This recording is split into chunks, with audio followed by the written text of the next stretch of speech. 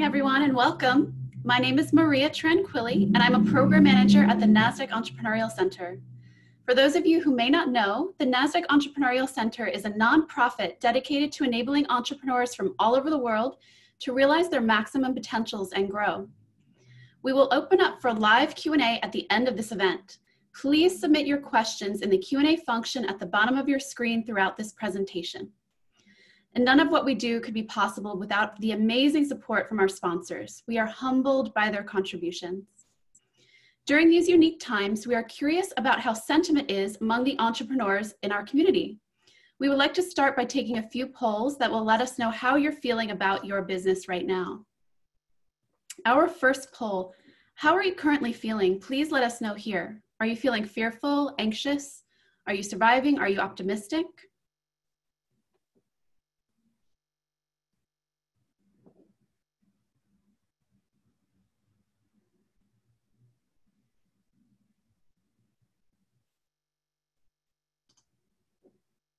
Thank you, everyone. It looks like optimistic is at 52%.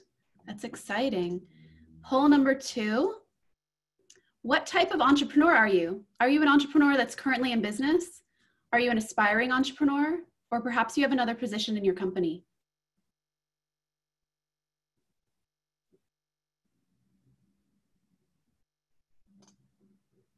We have lots of entrepreneurs in business with us today. And finally, what is keeping you up at night? Is it finance, sales, or marketing? Is it scaling, pivoting your team, or something else? Please let us know.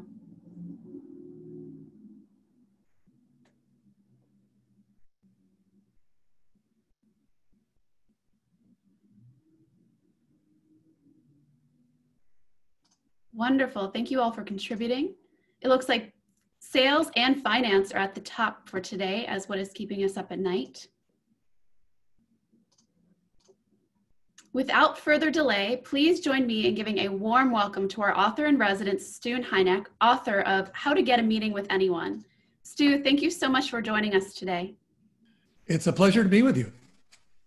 Pleasure to be with you. I don't know if you can see me, but I'm, I'm here. Let's see. Let's try to get your video started. That would help. There you are. there we go. Thank you so much for joining us today, and I hand it to you. It's a pleasure to join you. Um, can we? I, so we're, we're going to be talking about getting meetings. It's such a critical mission for for everybody in business business, but I think probably most critical for startup entrepreneurs. And so I want to share really quickly a video with you. You know, I, I I'm involved with a lot of campaigns to help clients uh, get meetings. And so I want to show you what happens when um, when one of those meeting when when someone one of these pieces shows up. So we'll take a look at that. I usually wait till you get here, Bill, to show your packages, but this one's pretty cool, and I'm too anxious to wait and show you. So here's the reveal. If I can get the off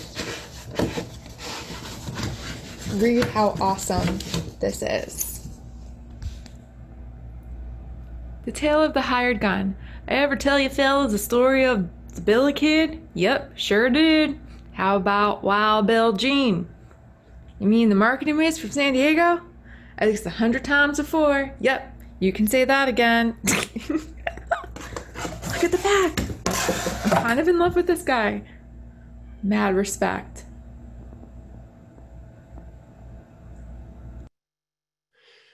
Well, that is the moment we're trying to, we're shooting to create in all of these contact campaigns. I call it flip moment. So it's, it's when the recipient, because we're, we're interrupting them. It's when the recipient goes from, who's this? Know, like, wow, who's it? Who's interrupting me? To, oh my God, wow, who is this? And, and we, I never get to see that. So I'm so excited about that video. Finally, someone recorded their, um, their, their reaction to it. Um, and and so I just think that that's that that is the thing. That's that's our that's the brass ring. That's what we're re- reaching for when we're trying to reach important people. And if you think about it, think about the, the importance of meetings. I mean, every big thing that ever happens in our lives happens because we make connections with the right people. I mean, that make, we, we connect with the right people at the right time. And really, without meetings, nothing happens. I mean, I guess we all know this, but I think that startup entrepreneurs have the biggest challenge of all because, you know, you're at, I'm going to assume a lot, but I'm going to assume that you're you're reaching out to angel investors and VCs and um, recruits and uh, possible um, partner, strategic partners, and you're recruiting your team.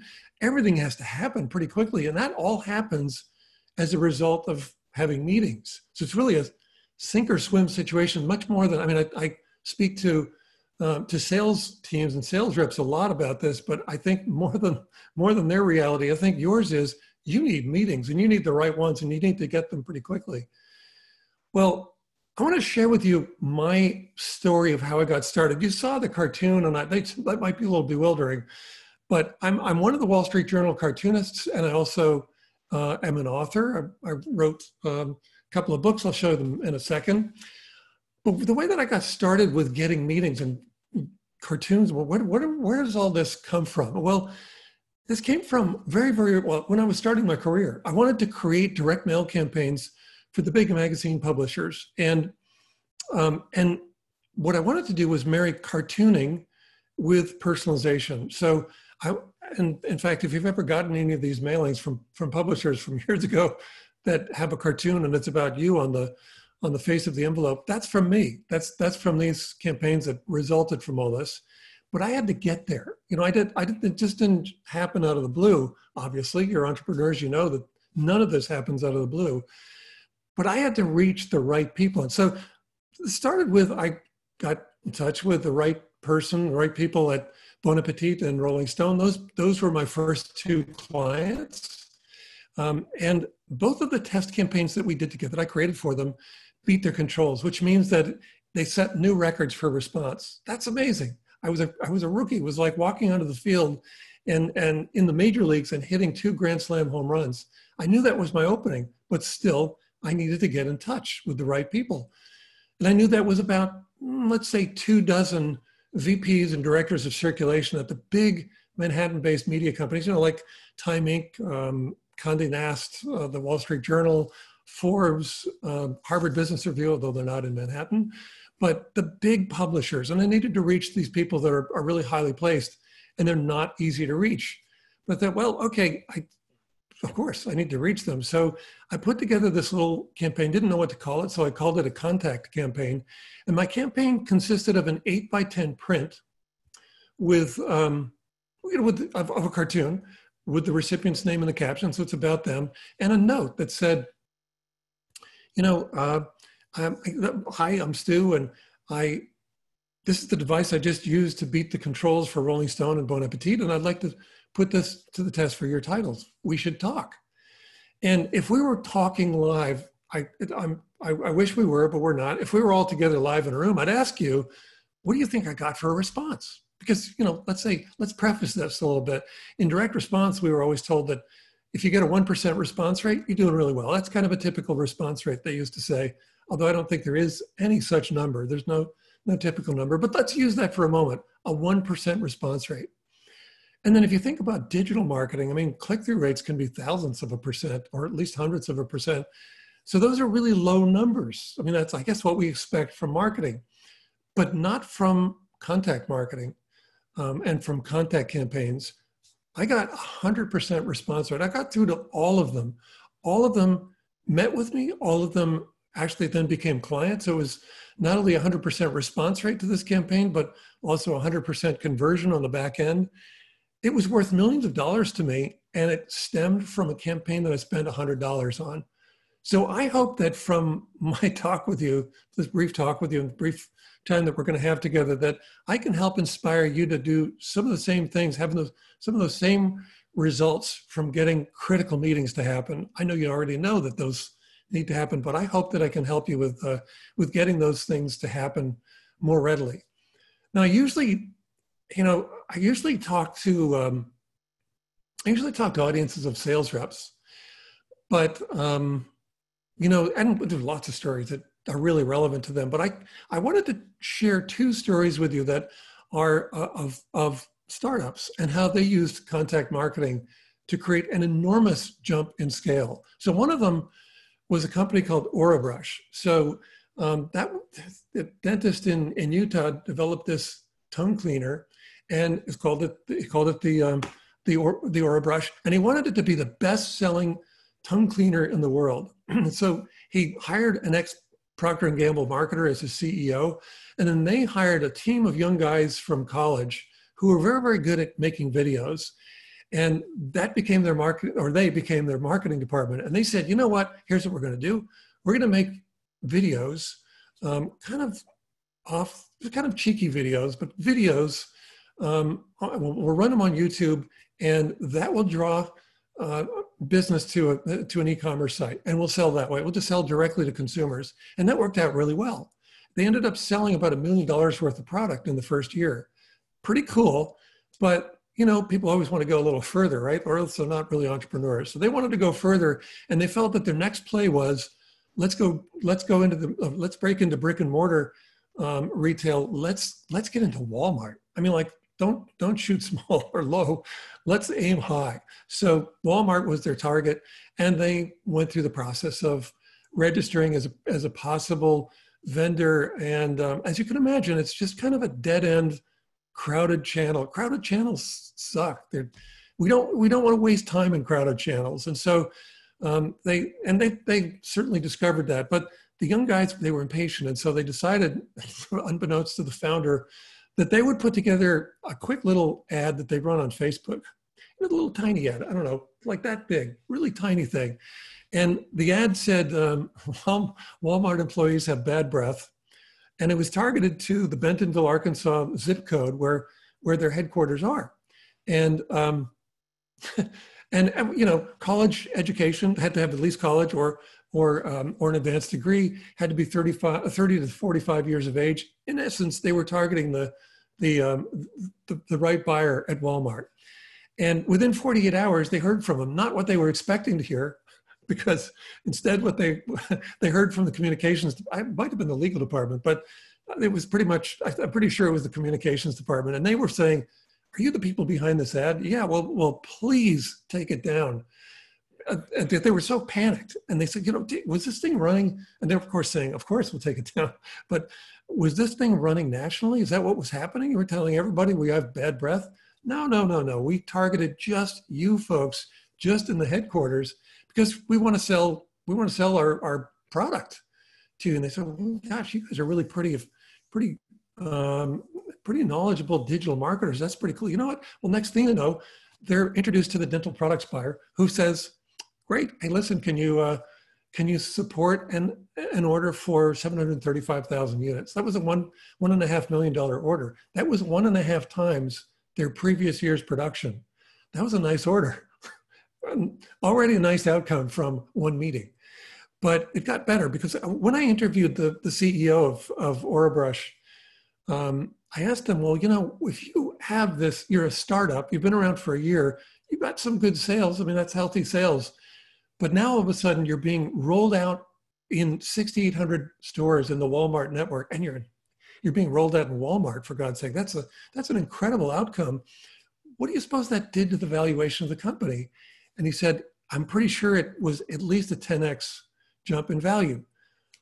He, he figured that that was that the, the, the business was worth two million, two times uh, two times sales was his figure, um, and that it jumped 10x. So it went from two million to 20 million. So they got a 1.5 million dollar order and a jump from 2 million to to 20 million in valuation from one ad that ran for 48 hours and cost them 28 bucks. That's really I won't say that's a typical, um, it's not a typical outcome. I mean, that's a 69,500,000% ROI on that, on that ad. But it is very typical of contact marketing in another sense, which is that you don't really have to spend a lot of money to, for these outreaches. And when you're connecting with the right people, jumps in scale can, can happen. And that's, that's a pretty dramatic jump in scale. Well, there's another story that I want to share with you. Um, about the No Wait app. Now, the No Wait app was developed a while ago now.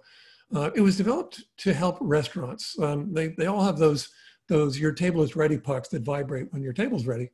But what they wanted to do was just use an app to turn everybody's smartphone into a into a, a puck, and but because it's an app and, and it's on their phone, they can they can check in before they even leave their homes and and register for or sign in for a table. So perhaps while they're while they're arriving or perhaps while they're shopping, they don't have to wait around. Is the point? The the No Wait app would allow people who want a table um, to be notified by the restaurant when the table's ready. That's pretty cool.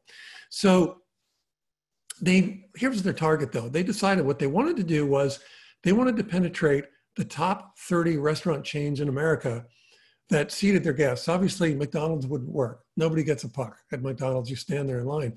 But of the of the big chains that seat their their their their patrons, they wanted to get they wanted to get as much of these of, of those uh, uh, as possible. So they put together a really clever campaign. And what it, what it was was um, a, a, set of personalized videos that were loaded, each loaded onto a, uh, an iPad. And the video had three segments. Then the first segment, and let's say, for example, maybe this this one's going, they're, they're approaching Red Robin. So in their approach to Red Robin, in that first segment of the video, there's a man on the street with a hidden camera, sort of lapel camera, and that's the scene. And he's walking up to to Red Robin, and it's a busy Saturday night, and you can see lots of people. And then you go into the restaurant. Oh my God, it's just stuffed full of people. And they make their way to the to the host table or, or uh, captain's um, the the the, uh, the captain's uh, podium, whatever. I forgot what it's called. But anyway, where you where you sign up for your table, and saying, well, you know, table for four. How long will that take? It'll take an hour. Oh my God, really? Yeah, but you can wait over there. And they point to this oh, over there. And they point to this, you know, we've, we've seen them, these, these bars where nobody, nobody was going there for the bar, but that's where they stuff everybody who's waiting for tables. So everybody's standing around or sitting around uncomfortably sipping a drink when they really wanted to just sit down and eat. And so they went in, the, the, the, the segment continued and they're asking people in the, in the restaurant, just, you know, what, how long did they say your wait would be? Oh God, an hour. What do you, how do you feel about that? Ugh, I hate it, obviously, right? And nobody likes that.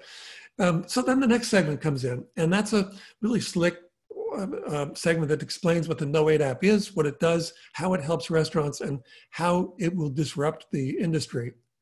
And then finally, the final or the final uh, segment is the CEO of No Wait looking into the camera, talking to the CEO. I think his name was Paul Murphy, the CEO of Red Robin, and he's saying, "Hey, Paul, I love eating at your restaurants. I love Red Robin, but I don't. I hate waiting for a table. And as you saw, everybody hates waiting for a table.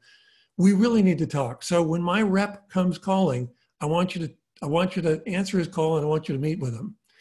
Well, that campaign generate well 80% 80% response to that campaign that's fantastic. Um, and in fact, some of the, some of the CEOs responded back saying, "This is the best campaign I've ever seen." That's important because remember, we want to create those flip moments.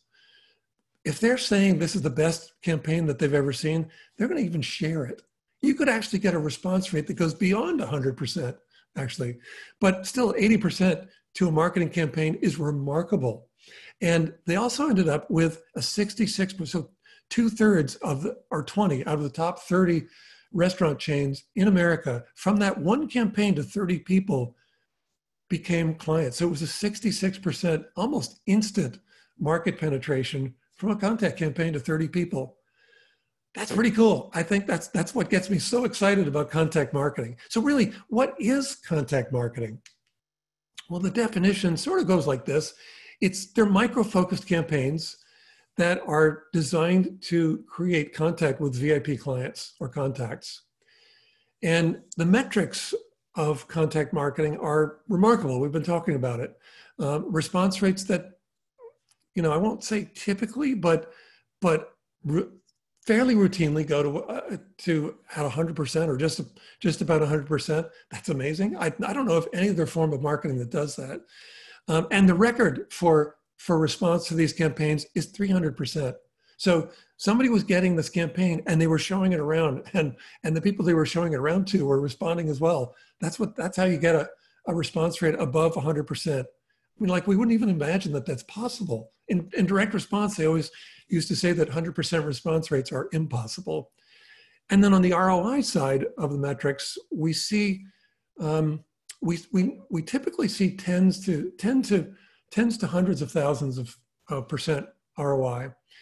But as you just heard, the, the record, the, the highest I know of is the Orabrush campaign, which was a 69,500,000 percent ROI. That's a, I'm like, I can't even understand that number. Well, I understand it by, by saying it's a $28 investment that created a $20 million return. That's just, that's contact marketing.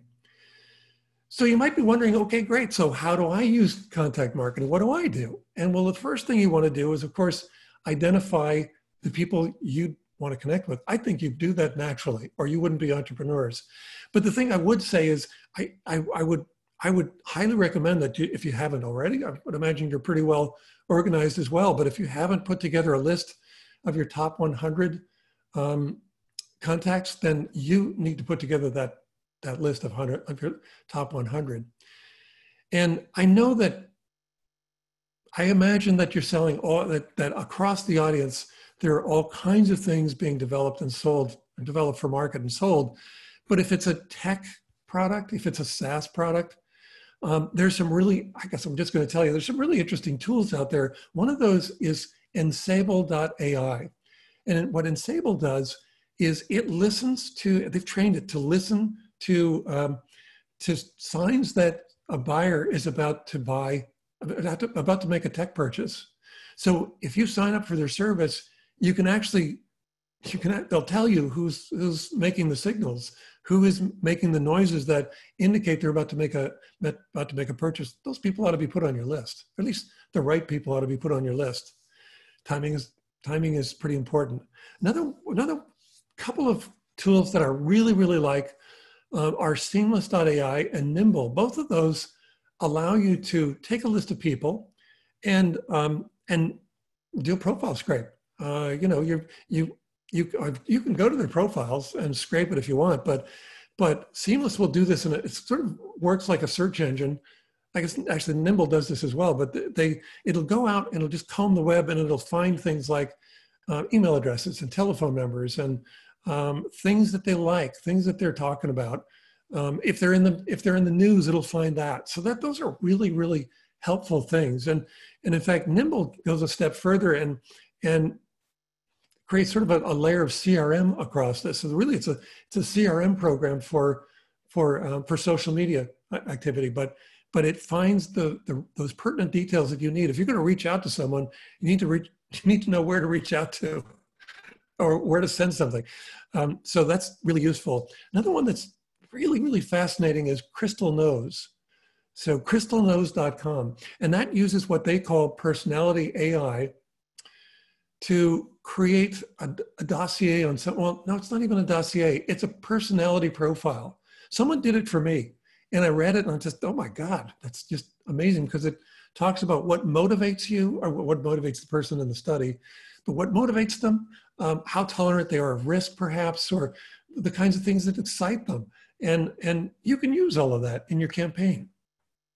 And so then, so okay, so that's that's how we might identify that top one, identify and really come to understand a little bit about each of the, the people on that top 100 list. But then what might you do? And I think this might be, maybe this is one of the most helpful parts of the of the presentation because um, I'm going to show you some ideas. I want to share some ideas with you. I mean, you could run Facebook ads or send send iPads around, but people have used all kinds of things. They, they've used visual metaphors and interviews and gifts and round tables and um, they use AI and ads, full page ads in the Wall Street Journal as a, as a contact letter. There are, people have done the most audacious and crazy things to get meetings. Um, but one of the things that I think would be really easy for you to do, really simple. You don't have to create a campaign. You don't need anybody's outside help. Is to use something that I call deep personalization. In fact, you know, I mentioned my two books. I should grab them right now. You can see them on the wall behind me. But I, it's get it, how to get a meeting with anyone. By the way, this one was just named one of the top 64 sales books of all time. I'm amazed. That's crazy. Anyway, how to get a meeting with anyone, and then the other one that competes or completes the, the pair is get the meeting. And in get the meeting, I wrote a chapter about about personalization because when I started out, I, you know, I, I was explaining, I, I used um, personalization with cartoons. So it was cartoons that were, the, the captions had data insertion points for first and last name. So it was a personalized cartoon. Well, all we needed for that form of, of, of personalization was just the correct spelling of your name and then an address to send it to. Um, and then we could apply, I mean, you could get a list, obviously. You can get mailing lists, you can get millions of people. You can just apply that personalization very broadly across that entire list. That's what we used to do. I mean, when, when my mailings went out for Forbes, they'd mail out 2 million at a time. And, pardon me, and so, um, so that's, I called that wide personalization. But there's another form that's been coming to fore, and that, that's deep personalization. That, that comes as a result of people having profiles and using, um, really just using the internet, but using uh, social media. We all have profiles, we have pictures up, we have we, we, we say where we went to school, all these things. It's really easy to learn about us. And so people have been using deep personalization, and I guess that combining that with gift giving to um, to to great great effect. I'm going to just take check the time. We don't I don't have time to tell the story, but deep personalization can work really well. You can use visual metaphors. I told you about, or I didn't tell you. Dan Waldschmidt sends swords to people. It's a thousand bucks. He spends a thousand bucks having this sword made up for CEOs of companies that are in trouble. He's a turnaround specialist. And when he sends this sword and this handwritten note, he gets a 100% response rate to his campaign. That's pretty amazing. But you don't have to spend $1,000 per, per piece like he does. Here's a cool one. Oh, let me just get it right. There's a coffee, a fake coffee spill. It's, this com- there's a whole industry of fake food that feeds, uh, I don't know if feeds is maybe not the right word, but but serves the the deli and restaurant industry. And so they have a lot of fake food, really ultra realistic fake food. And this makes a really cool drop off piece. That that's one of my clients' drop off pieces. But you can imagine sending that with a with a, a Starbucks gift card and a note just saying, "Hey, I, would just like to share a cup of coffee with you on Zoom." I mean, that would be a great way to invite someone. Or if if you if you want to use someone's um, someone's I just got to grab the right thing here. Someone's profile picture. Here's kind of an interesting thing you can do with their profile picture. Let's say from uh, from LinkedIn, you can you can process that. There's someone's profile picture, and I processed it with a filter in Photoshop to turn it into engraved, an engraved um, piece of art, kind of like what you see in the Wall Street Journal. And in fact, even more like what you look, see in the Wall Street Journal. Here it is turned into a card, a story all about meeting the, the sender whose identity is on the back. These, these combine a couple of things that are really quite prevalent in the most successful contact campaigns that I've seen in my, in my research. One of those is you got to send something of personal value, relevance. Um, either emotional or intelligent intelligence uh, value. Um, and then handwritten notes turn out to be a really, really important part of a lot of the most effective campaigns that I've found in my research. So here's another another form of this, which is kind of fun. Um, these are this is a card that has one of my go-to cartoons. So whenever someone is not returning my phone call, I always use this cartoon. So I'm going to put it way up it's kind of hard to see it. Anyway, it's a guy at a gas station, maybe route, maybe on Route 66 somewhere out in the desert, and he's at a payphone. And Maria, if I was trying to reach you and you weren't calling me back, it, the caption would read, "Hi Maria." So here again. He's at the payphone, stuck out in the desert, desert, and he's saying, "Hi Maria, it's me again. Listen." I don't know if you've been checking your voicemail all last week, but I'm still here at the same number waiting for your call. And so, you know, the thing that's really cool about this is that that's so disarming. That's a great and very disarming way of saying, hey, you're hanging me up. Call me back. Right. So that's a pretty cool thing. Um, and, you know, that's a card. You can put your identity on the back. You can put a handwritten note. It has all of those elements of, of what actually turns out to be a pretty successful campaign. And uh, I'll show you one more. This is one of my favorites. Um, I send this one when um, when when I, I, have a proposal that has stalled, and you know god that happens to all of us right? So um, after a while you leave you, you can only leave so many messages. I mean it's good to be persistent but you'll you'll feel rather silly leaving a lot of messages after a while. So at least i do. And uh, eventually i just end up saying okay i'm going to send him this this cartoon. So this one has this guy, you can see him, he's cradling the phone on his shoulder and he's rifling through some papers on his desk and he's saying, hey, listen, uh, we got your proposal and we like everything except having to pay you. And I put in that, I sent that one out with a note saying, hey, sorry it didn't work out this time, maybe next time. And it's kind of like dragging a string around the corner from a cat. They, they're saying, whoa, whoa, whoa, wait a minute, hold on a second. I mean, like at least 50% of the time, they're saying, oh, wait, hold on, I didn't mean to ignore you. That, that's, listen, let's get, let's get it going right now. So it, it resurrects these, um, these stalled proposals. It's a great, these are great, they're great tools. They're great, uh, very disarming tools for uh, you know, for for for breaking through in, in situations where it's hard to break through. And really, they're very much akin to getting meetings. They're very much um, uh, related to it. Maria, we're we're ready for um, for questions and answers. But the one thing I wanted to say is I have a gift that I want to give anybody who's interested. I just sh showed this card. Let me pick it up again. This guy, the, the one that gets people to, to return your phone call. So I have a, a, a system of uh, editable PDFs. And I'm, and, and you know, so it creates this and there your logos on the back and all that. So if anyone is interested, I'm happy to make one of those for you. So it would be a, an editable PDF. I'll set it up with your identity on the back and your logo and so forth. And it'll be an editable PDF and you just sort of send as many as you want. Stu, that is an incredible gift to offer this community. Oh my goodness. So if anyone wants to take Stu up on this offer, uh, where and how should they do that, Stu? Well, I think the easiest way to do that would be just come to my author site. Well, you can connect with me on LinkedIn too. I would encourage you to do that, but and you can send me a DM that way. But or or come to my author site.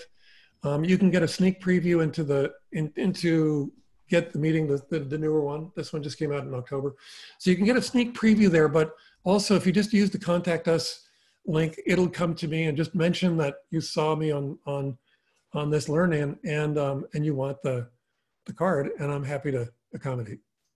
So generous. So we'll make sure that we actually put Stu's LinkedIn and um, and uh, I'm sorry website address in the chat today, so everyone can find him, and it will also be in the uh, resource email that we send following this webinar up, which is great. So Stu, we have lots and lots of questions and we actually have some hand raises, which means someone, uh, some people would like to share their voice live, which is really exciting. So let's go down this list if you're ready.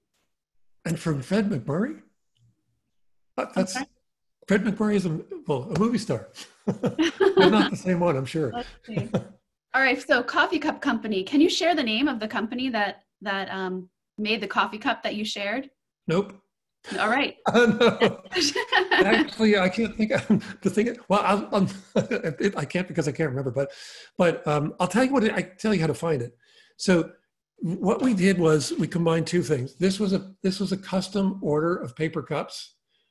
You can just do a Google search to do to find that, and then um, and then the spill itself. So we we had the cups made up, and then we sent it to um, to the company. I can't. I might remember it while we're while we're talking. But again, just Google fake foods. Um, and you're, what you're looking for are spills. And they've got all kinds of spills. I mean, Dr. Pepper and martinis and ketchup and so on. But my favorite, oh, actually, I don't know if you can see it behind me there. Mm, this on this side. Do you see the? There's a anyway. There's a there's a an ice cream cone that's spilled. They've got all kinds of really cool things. And the mm-hmm. ice cream cone, by the way, is another great visual metaphor. I love food as a visual as a visual metaphor actually. So I'm sorry I don't have those those names to give you um, directly, but if you do a couple of Google searches, you'll find them. And I'm sure we have some researchers in this community that are typing right now. So if anyone comes across that, please share that in the chat. Yeah. Um, okay, we have a question from Sharon. How about cultural differences and the impact on effectiveness of some of these various campaigns? What works where? Any country cultures to be aware of? Ooh, well, that is an incredible question. Um, and I, and and oh my god. Well i will say that you know history is fraught with all kinds of really wonderful blooper stories of you know people who've assumed something because that's how it's done in their culture. And then um, and then they discover that something has gone wrong. I mean car names are really well known. I, you know the, the chevy nova in puerto rico i think it was where nova means no go was probably not a good name for the for the car. Um, so I think that you could probably, I think you could easily end up doing that um, in something written. You might easily do that with with a cartoon. Although I don't even know if I did I explain. I don't even know if I did this, but I'm also one of the Wall Street Journal cartoonists. So I've I have and, and founder of cartoonists.org. It's a group of cartoonists that um, donate. We donate our art to help charities raise funds. Uh, and and so I'm really deeply involved in the cartooning world, um, and I know that that cartooning itself is is something that's that's just seen across cultures. So it's, I mean, the, the, the gags are going to be different, and the cultural references will be different, but it's something that that actually just exists all over the world. Um, and I would say that if you, now I'm going to just switch to, let's say, um, let's say using deep deep personalization. If you're doing a profile scrape, and you decide, and you discover that someone is really interested in, I don't know what, falconry, let's say, um, and you send them a, a, a falconry glove, um, you, you're going to have an amazing, uh, an amazing response to that, no matter what the, the cultural differences are. And I'll also say this, that, that um, how to get a meeting with anyone is already in print in Russia, China, and, and Vietnam, as well as in English. So, I, you know, people are using it all over the world. I know it works, and I know that your question is really, really right on the money too. You knew, you would need to be careful about making cultural references. So I would check them. I would check with someone who's local to each of those cultures you're sending to. That's beautiful, Stu. And I, I just want to add what I what I heard in what your in, in your response was maybe choosing something that is um, globally relevant as opposed to culturally relevant as well. Knowing something like cartoons can actually bridge cultures, maybe similar to music. So um, yeah, yeah, and the falconry glove, or you know, uh, um, could be an apron because someone's really really loves barbecuing. I don't whatever it is that they love. I mean, in, in, if you're using deep personalization and sending a gift based on that, that's a pretty safe bet, I think. Thank you, Stu. And that actually leads into another very specific question from Marcia. Are these are these cards with cartoons available online somewhere for personalization? Oh, Marcia, it's going to sound like I paid you to ask me that, but that's thank you. well, yeah, there. So I have this program called Bottomless Box. That's what that card is part of, and so you can go to sales.bottomless dash box.com, and you'll find a, a, sales page where you can join uh, where you can join um, uh, a bottomless box. So again, that's sales.bottomless hyphen box.com. Thank you, Stu. So we'll ask one, uh, one question here from the chat. We have many others, and then we'll move into maybe a live question. So whoever has their hand raised, we're happy to take that. Um, so a question from P Prakash. How do you translate, or how would you translate this into the digital world, social media and email campaigns without conflicting with FTC marketing guidelines? Hmm. well, I will say this. Um, I'm not a fan of, of crowded channels to begin with. So this question reminds me a lot of a question that I get um, from sales reps, which is, how do I make my, my emails stand out? And, and I'm usually telling them, if you really would like to stand out, then I would least advise you to be multi, uh, multi-dimensional or, or multimodal in your communication. So don't just send emails. And, and I would say, don't just do digital. I mean, if you could, I'm going to show you a really, I, I mentioned Dan Waldschmidt that he sends swords. And, and here's the sword that he sends. Here's one of them. And so, you know, that's just, that just has so much more impact than an email, you know? And, and I think, I, I, I think I'm just, well, I'm a fan of, of just being, of being, um, of being multimodal in the ways that I communicate with people. And, and so if you're only doing, doing it digitally, uh, I think you're missing, um, you're missing an important part of the opportunity to connect. Mm-hmm. Having said that, um, I would, you know, one of the things that, one of the things that I included in the new book and, and Get the Meeting also was something called pocket campaigns. I just didn't think I'd have time to, to talk about it, but here's an example of a, of a pocket campaign. So you've probably all seen this business card. It's totally internet famous.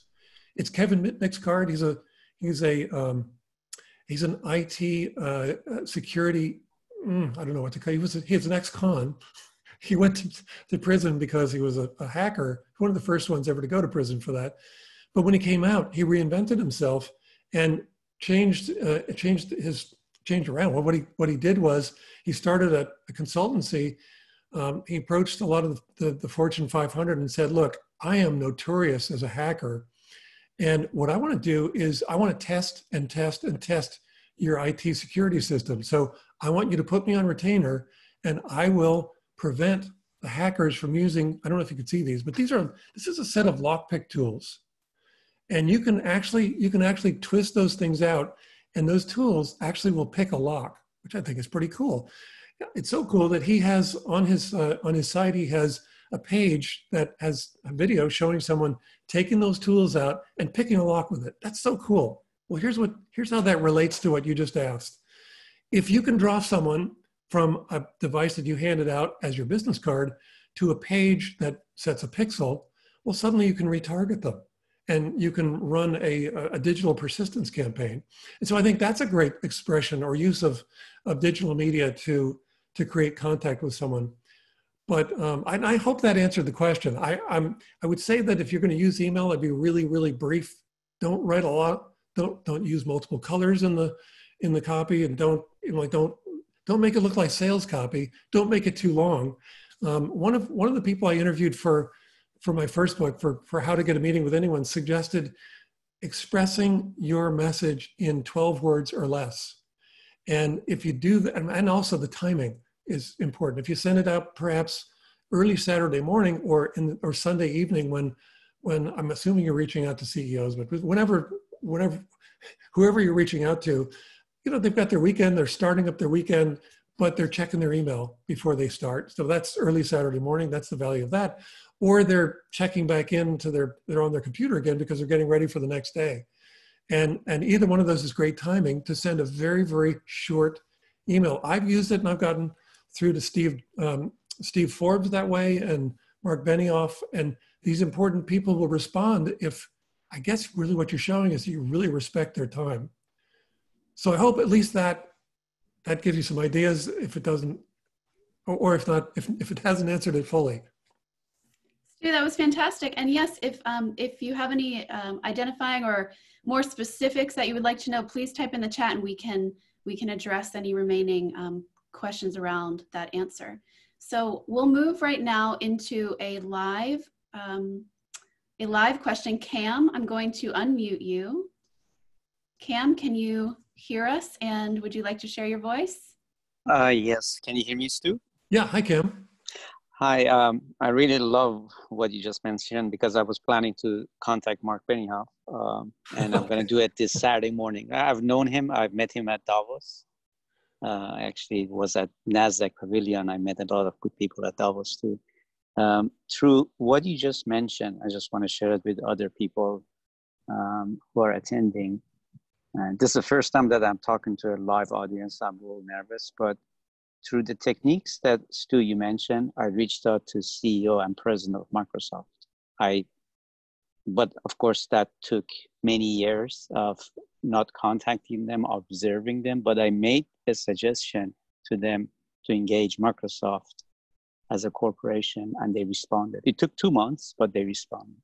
Oh, well, so great. I really, I really like what you just mentioned because I just wanted to mention you, you're a proof example of people are human first, then they are billionaire, then they are CEO. If you contact them as a person, they respond right away. Thank you.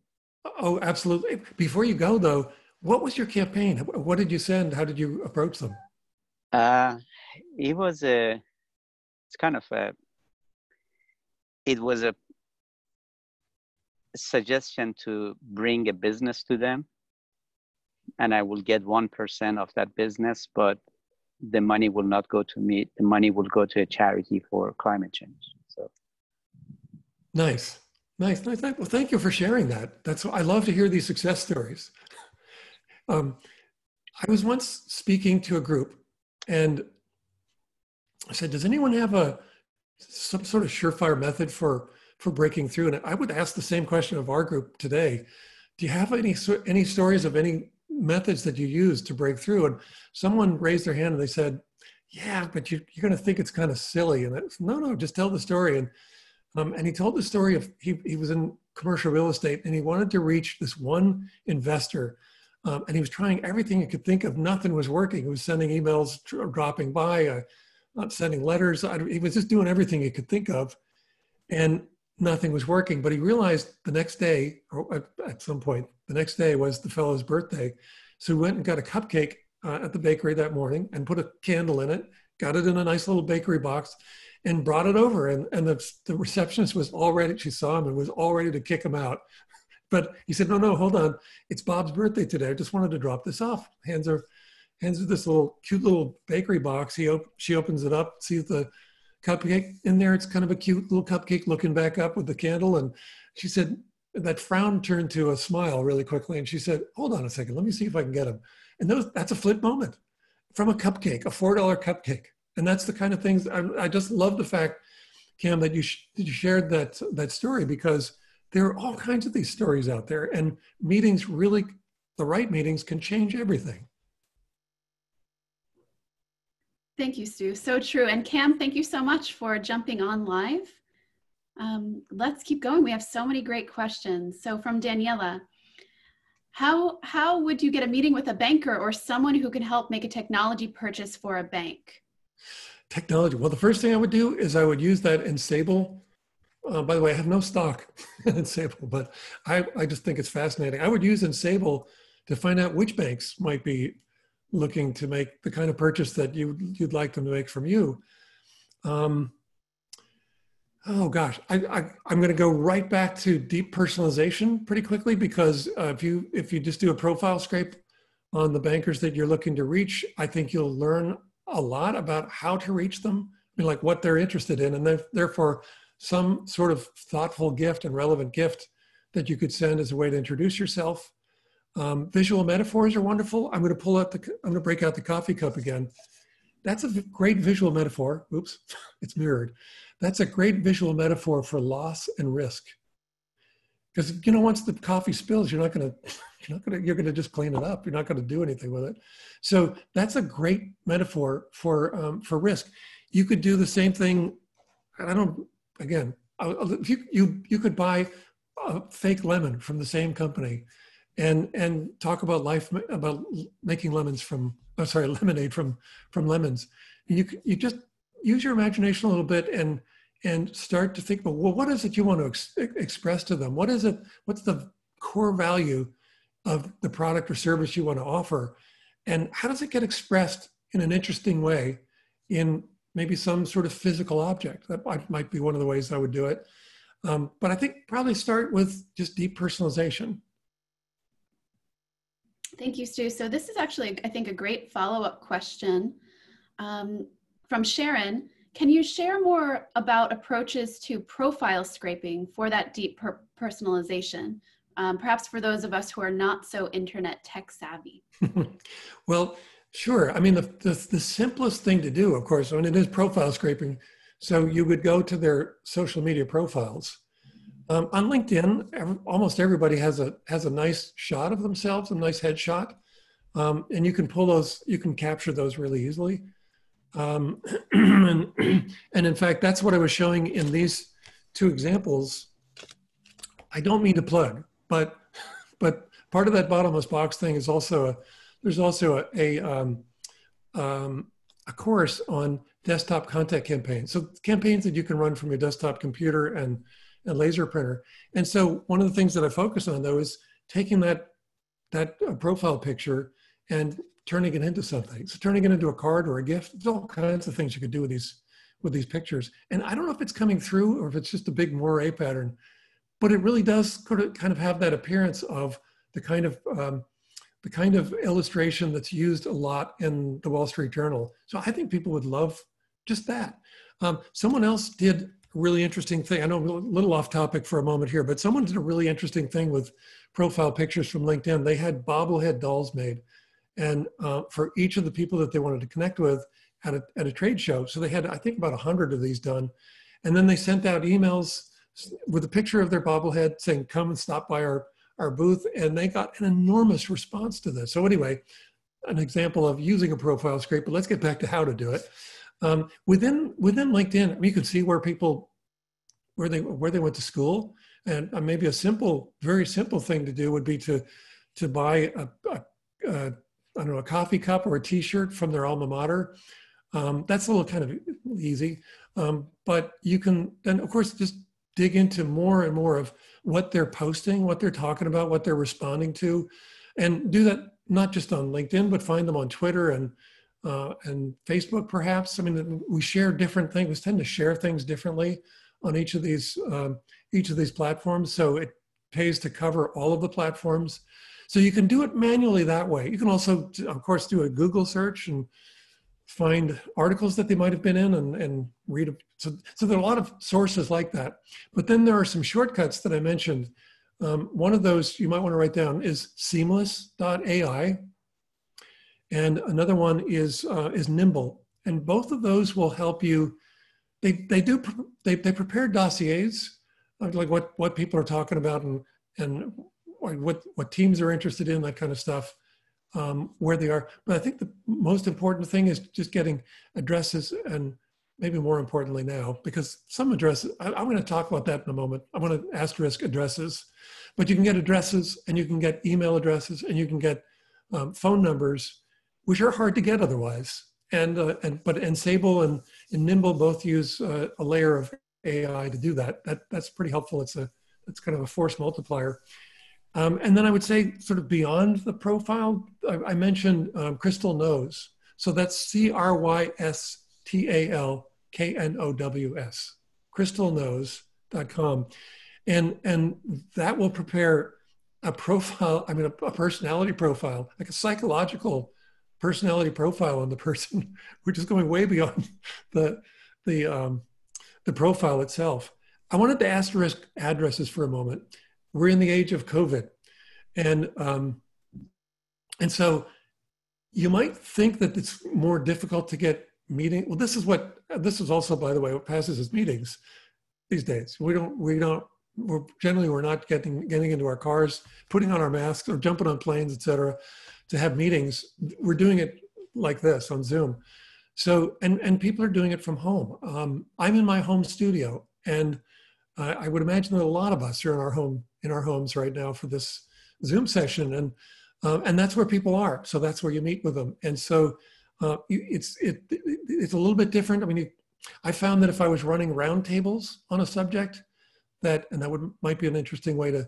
Someone asked about fintech or about selling uh, financial solutions to, to bankers. Running a, a, a, a Zoom based roundtable is a wonderful way to connect with people, but then also to make an offer to them. And if they if they'd like to get more information, they'd like to get your book, they'd like to get a, your favorite book or whatever it is, um, they're they're open to it. They'll give you permission, and if you just ask, well, where do I send it? They'll give you. I've, I've been finding that people are readily giving their home addresses to do that. So that addresses might be a little bit of an issue, but you can get around it. That's wonderful, Stu. We actually had two questions, one from Lauren and one from Michael, specifically asking about working from home. It might be harder to send packages. Um, how would we find their digital content um, or digital contact information, or how might we navigate the physical notes during this time? So I think that that answered those questions. And Lauren and Michael, if it didn't, yeah. please just ask for clarification in the chat. That would be great. Um, wonderful, Stu. So let's see. Um, we have so many great questions here. Um, from, let's see, is, is, there a particular method that really registers with salespeople or any stories from them that you like to share? From salespeople? Well, I mean, so the thing is that that um, usually the audience that I'm speaking to are salespeople. because um, obviously they need to get meetings and, and eventually they'll be the ones getting meetings on your behalf for your companies. So, um, I, so salespeople love this. And I mentioned also that that um, you know I wasn't aiming for this. I just wanted to tell this story, and I was using my cartoons and just saying, "Oh my God, this is like a secret weapon." I was getting through to all these people. I've I've gotten through to presidents and prime ministers and celebrities and so on. It was like all kinds of mischief ensues from all this stuff, and and so um, I was going to say though that that the the book be, behind me, this one, um, How to Get a Meeting with Anyone was named one of the top 64 sales books of all time. And that's because getting meetings is so central to the, the mission of selling. You can't, nothing, similarly, nothing happens if, if you can't get meetings. Um, so you asked about a story. I'm going to share one with you real quickly. It, you know, it's, it's, um, it's, it's, uh, and it's, it's about a startup, late stage startup. So that's good. So when, when, um, when this book came out, when How to Get a Meeting with Anyone came out, I heard from some, heard from a lot of people, but I heard from this one guy, and it just floored me. He he said, "Well, listen, listen, um, I want to tell you what happened because I read your book." So a, a year ago, I was just graduating college, and I didn't quite know what I wanted to do, but I've been recruited by this late stage startup to be one of their one of their sales reps, and um, so I thought, great, that's fantastic. So um, what he soon discovered, though, was that their method was you're going to make 100 phone calls a day. So it's all cold calls. Um, but it's just kind of random cold calls. So, but that's what you have to do. That's what we want you to do. Well, one night he was lamenting to a friend over dinner, you know, I, I love the job. I love working with the company, but geez, they're having us make these phone calls and we're not getting any, there are no conversations coming from this. And the friend said, You need to read this book. And he recommended my book. I still don't know who the friend is. I'd like to thank him. But anyway, you need to read this book. And so Dom read the book and he said, Oh my God, okay, I know exactly what I'm going to do.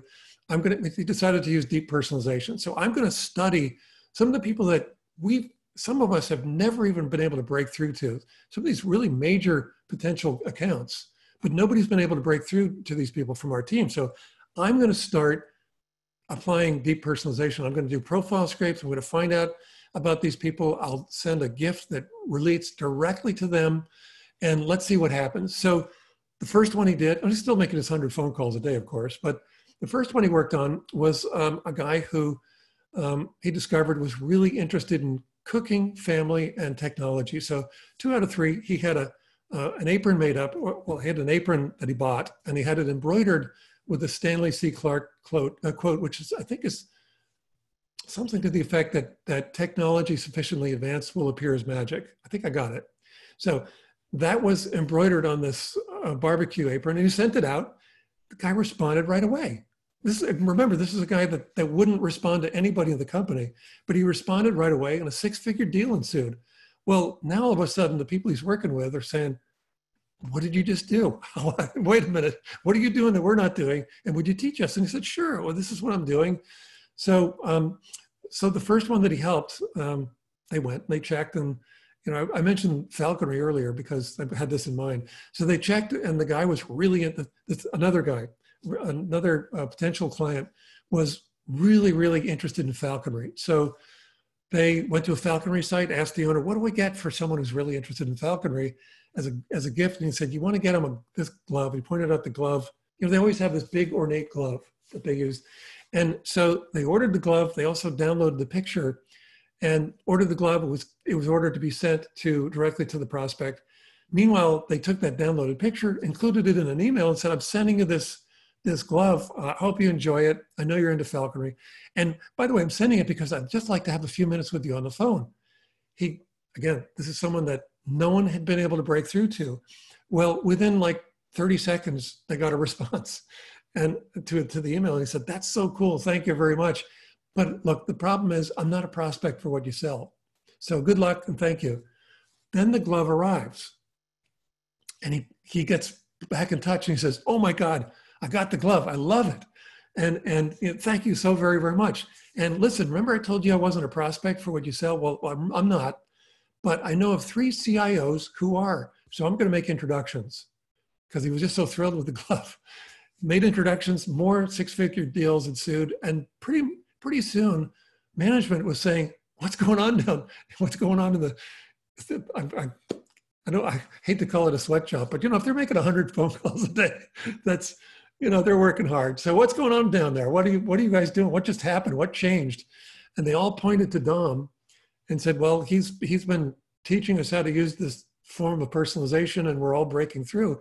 Well, Dom was promoted to sales manager of the company. And then the company was acquired by Cisco for I think $4.7 billion. So within the span of a year, using contact marketing, Dom went from a new college graduate to the sales manager of a multi-billion dollar multinational um, company. So that it works for, I mean, that's, salespeople are using this all the time. Stu, what an incredible story. Thank you for sharing. And I know right now we're actually at time. So, for some closing remarks, Stu, we are so grateful that you've taken the time. You're an incredible author um, to speak to our community, to share your insights, to set such a great overview, and to give such specific and detailed examples on how to move forward. So, on behalf of the NASDAQ Entrepreneurial Center and everyone in attendance today, we are sincerely grateful. Thank you so much for joining us. I, I I'm so glad to be offering this this knowledge up to your to your base. What a, what a pleasure to join you. Thank you so much, Stu. And for everyone that's still listening in, we have a few amazing webinars and town halls coming up. Next Tuesday, Master Economic Recovery, Predictive Models and Forecasts. Uh, we also have next Thursday, Building the Muscle of Resilience. And the following Wednesday, um, a Founders Leadership, Leadership Series with Janice Bryant Howard of the Act One group. Um, so we have some incredible webinars coming up. Please join us. You will receive, um, as a follow-up, Stu's contact information if you didn't catch it in the chat, and a few other things specifically from Stu, like he mentioned, the incredible gift that he is so happy to share with you all. And on behalf, again, of Entrepreneurial of NASDAQ Entrepreneurial Center and uh, all of us here right now, thank you again, Stu. Uh, we hope everyone has a fantastic afternoon. Bye now.